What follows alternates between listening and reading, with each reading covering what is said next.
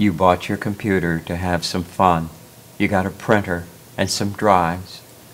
Then you connected all those wires and you ran them back to the back of your computer where they went to other machines and then those machines needed more power so you plugged them all in and you bought more things and plugged them in too.